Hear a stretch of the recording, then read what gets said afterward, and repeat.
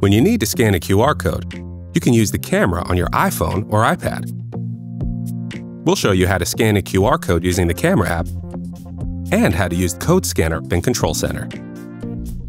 First, let's use Camera to scan a QR code. First, open the Camera app. You can use the home screen, Control Center, lock screen, or, on supported models, Camera Control. We'll use Camera Control. Position the QR code in the frame.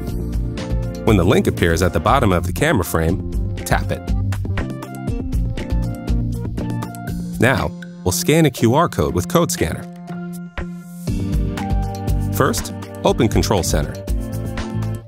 With Code Scanner added to Control Center, tap the Scan Code control. Position the QR code in the frame, and Code Scanner will automatically detect and read it. That's it. The easiest ways to scan a QR code.